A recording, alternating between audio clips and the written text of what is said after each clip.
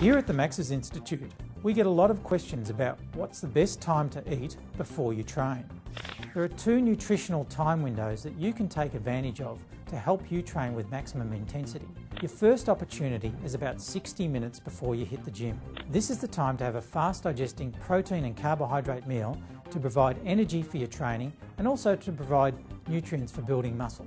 You need to have your meal 60 minutes before your workout to give your body time to digest and absorb these nutrients.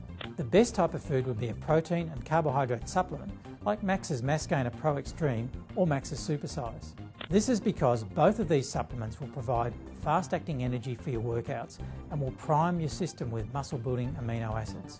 The second nutritional window is about 10 minutes before your workout, quite literally as you're walking into the gym.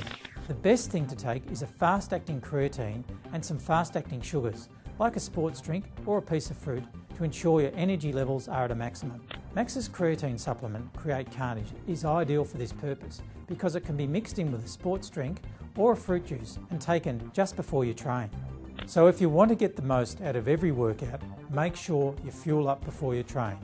And if you'd like more information on nutrition and training, just go to our website at maxes.com.au. See you next week.